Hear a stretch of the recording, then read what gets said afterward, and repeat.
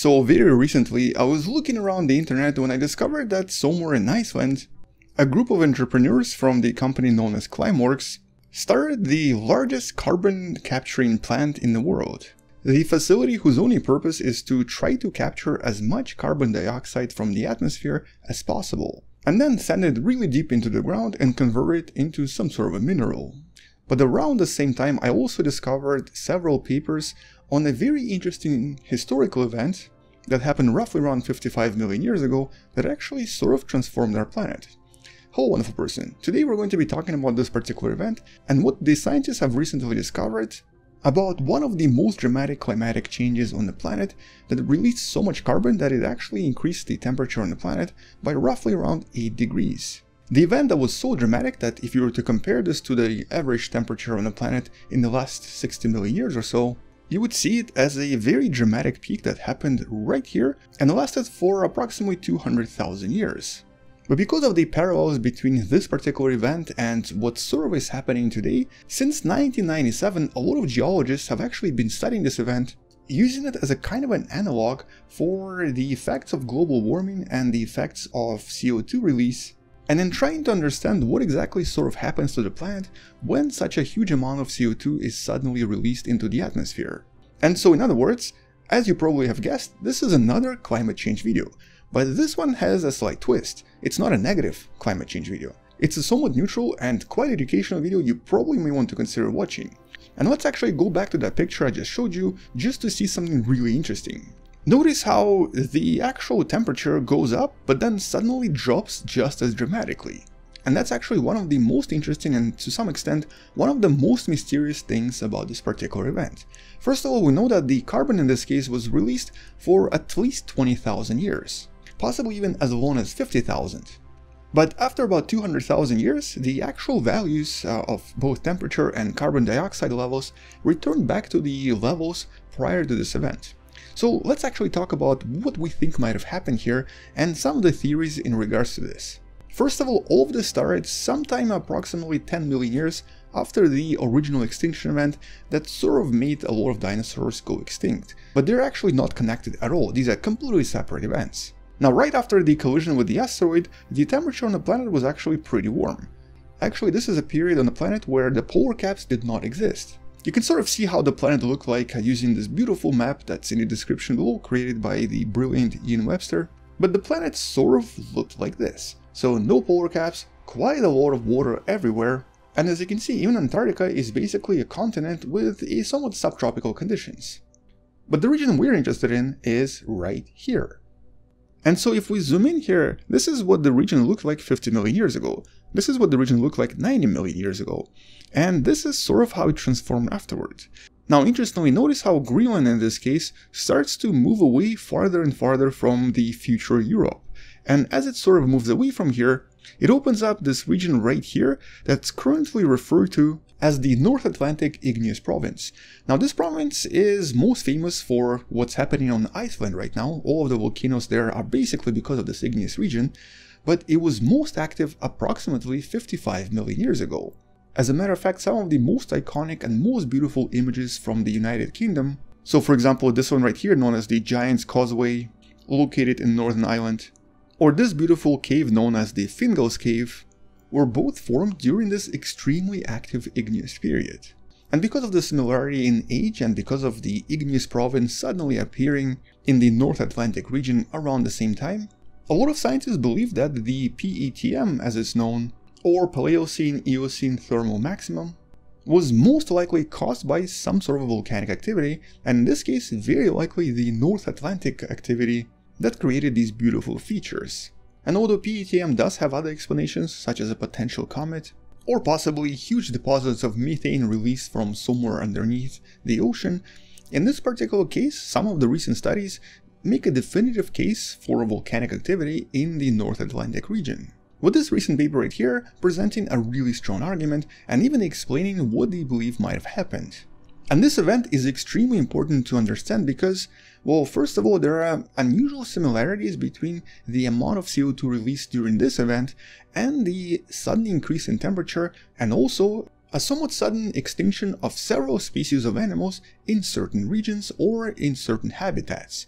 All of this kind of connects to what is happening to Earth today, and because of this, the scientists really want to understand how did the planet first of all recover, but also what's the worst case scenario? What would happen if the CO2 levels really sort of reach the extreme conditions?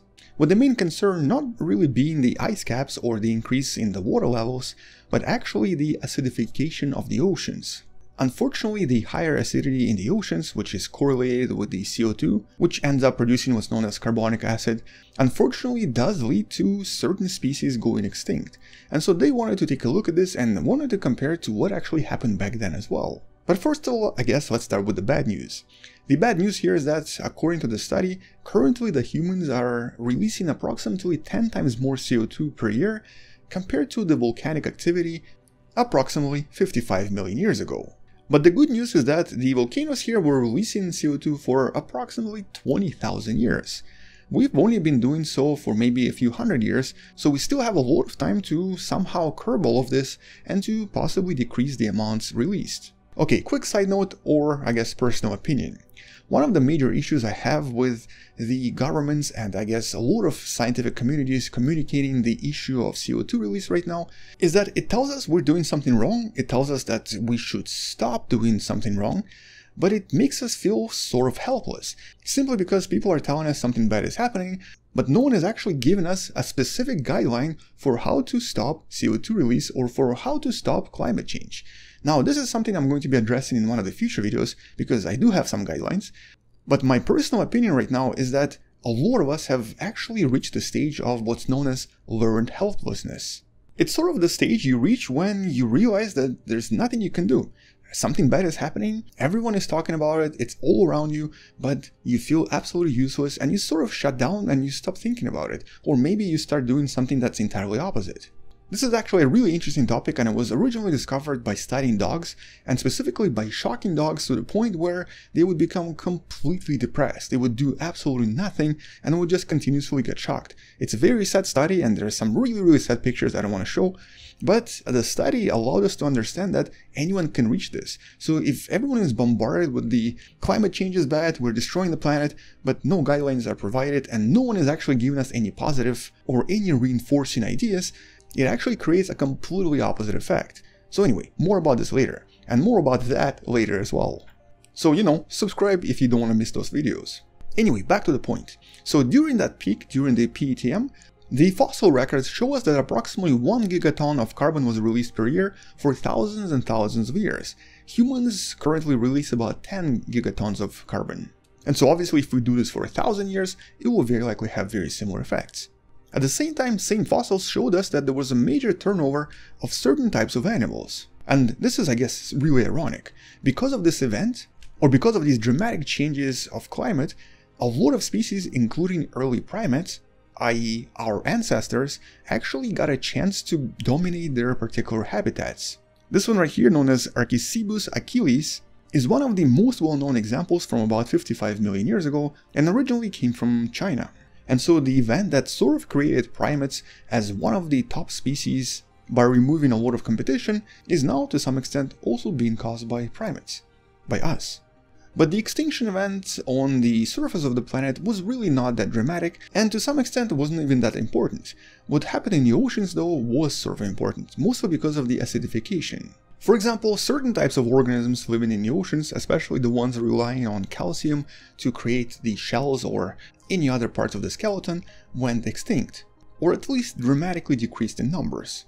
These tiny grains that are only about 5 mm in size still exist today and can be found around certain parts of Japan, and this is known as Foraminifera, with the organism in this case known as Baculogypsina. But the organisms that did not rely on calcium or certain other types of organisms especially certain types of subtropical dinoflagellates, exploded in numbers and took over the habitats that used to belong to other species. So essentially some species disappeared, but some species became way way more successful. With the fossils suggesting that this was happening pretty much everywhere, the oceans, the land, and very likely affected pretty much every major habitat, so it was sort of like a turnover of species. The animals that used to be successful most likely disappeared, the animals that were not so successful took their place. But there were some other major changes to the planet as well. For example, one major change that's somewhat difficult to study and currently is very difficult to understand is actually in regards to ocean currents. Apparently during this time for about a few hundred thousand years, the ocean currents also changed dramatically, changing the way that the heat was propagated on the planet. Certain regions that used to be warm became much cooler and vice versa. This is by the way something that's already sort of slowly happening on the planet as well. It's not really that dramatic yet, but it is slowly happening. For example, at least one study was able to discover that there was something referred to as the backwards flow, referring to a major change of the water transport in the depth of the ocean, which actually enhanced the warming even more. And so certain types of ocean currents will actually increase the overall temperature on the entire planet. But because of all of these changes, up to about 50% of all of the ocean species very likely went extinct, especially some of the simple organisms that ironically survived the extinction during the dinosaur era. And in this case, it most likely happened because of the length of the event. The asteroid strike only changed the climatic conditions on the planet for possibly a few decades, maybe a hundred years. But the ocean currents in this case very likely were affected for at least 40,000 years, so a much longer period for someone to survive. But what's really difficult to explain and what's actually somewhat difficult to understand is why the mammalian species, especially early horses, early monkeys, and a lot of other mammals that became prominent for millions of years, started to appear and actually started to dominate during this period although many of them were much much smaller in size. As a matter of fact, today it's believed that because of the carbon dioxide levels, or extremely high carbon dioxide levels, the conditions on the planet encouraged what's known as dwarfism. Very likely because the levels of oxygen were sort of lower and the levels of CO2 were much higher, so it would be much more difficult for a larger animal to be able to breathe and provide enough energy to their entire body.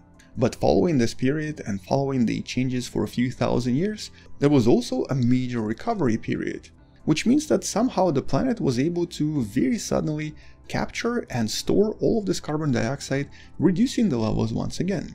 Now this is something we still don't understand, and we don't even understand where the carbon actually came from, but this is an extremely intriguing and very crucial time on the planet that we can technically use as a case study for what might happen in the next few hundreds of years. But back to the study. So what exactly have they actually learned? Well, first of all, they were able to confirm the origins being volcanic. In this case, the scientists were able to confirm that there were very large deposits of mercury present in the North Sea in the North Atlantic, and generally speaking, high levels of mercury are usually correlated with major releases from igneous provinces from essentially volcanoes. Although in this case it was very likely an underwater volcano, an extremely large underwater volcano, something that would be hundreds and hundreds if not thousands of square kilometers in size. Or to be more exact, this would be an igneous province, so not just one volcano with a single eruption. But basically a lot of smaller volcanoes here and there, all of them releasing a lot of material. But one major surprise discovered in the study that actually sort of applies to what's happening on the planet today is that only the initial stages of this event showed the releases in mercury, but the climatic changes, the CO2 levels, and the overall temperature on the planet were still increasing even after the levels of mercury started to drop.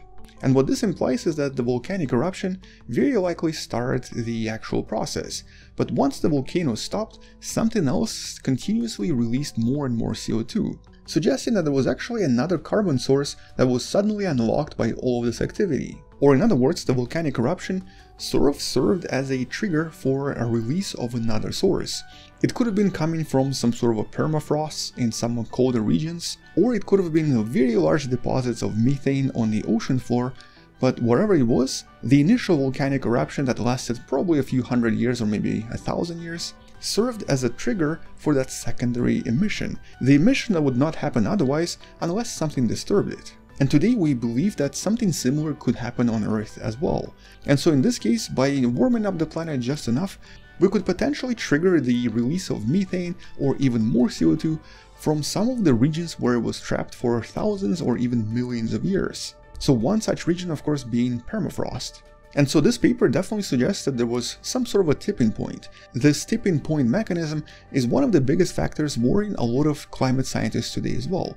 We don't really know where these major deposits could come from, but by releasing just enough CO2, we could hypothetically cause the planet to start warming up dramatically even beyond our control. And because this period right here is technically the fastest period of warming in Earth's history, there's definitely a lot of lessons for us to learn here. But looking back at the graph, we can see that the planet recovered pretty quickly, and this was very likely also the result of volcanoes.